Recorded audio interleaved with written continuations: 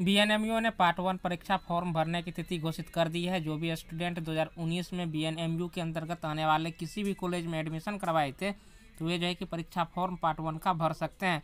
चाहे आर्ट्स हो साइंस हो या कॉमर्स हो, यानी BSc part one BA part one या बीकॉम पार्ट वन के स्टूडेंट परीक्षा फॉर्म भर सकते हैं। तो यहाँ पर आप देख सकती हैं कि ऑफिशियल जो है कि लेटर जारी कर दिया गया है।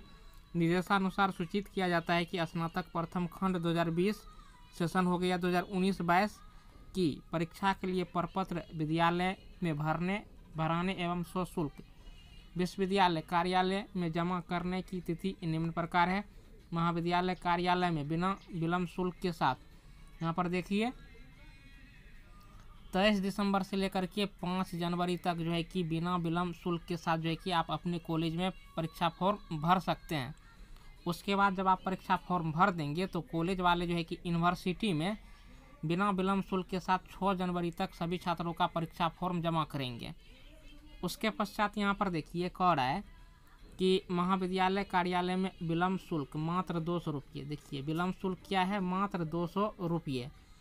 दिनांक छः यहाँ पर देखिए छः जनवरी से लेकर के आठ जनवरी तक जो है कि बिना विलम्ब शुल्क के विलम्ब शुल्क के साथ भर सकते हैं। दो छः सात, आठ, तीन दिन आप भर सकते हैं।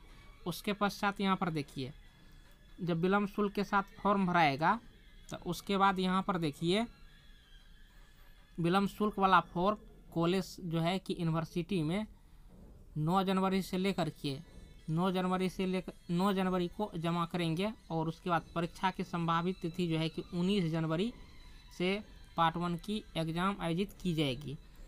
इसके बाद यहाँ पर देखिए, महाविद्यालय में UMIS द्वारा उपलब्ध कराई गई नामांकन सूची के आधार मानकर ऑफलाइन माध्यम से आईसीआर परीक्षा प्रपत्र में ही परीक्षा प्रपत्र बढ़ाए जाए और उसी आईसीआर परीक्षा प्रपत्र से पंजीयन प्रपत्र भी तैयार की जाएगी। साथ ही पूर्ववर्ती छात्रों के पुराने पंजीयन से ही आईसीआर परीक्षा प्रपत्र में परीक्षा प्रपत्र भराया जाए।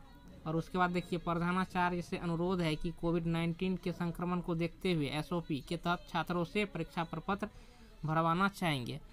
तो देखिए आप पहले जाकर के कॉलेज से पंजीयन ले लीजिए और उसी पंजीयन को देख करके आपको परीक्षा फॉर्म भरना है, जो सब उसमें सब्जेक्ट होगा।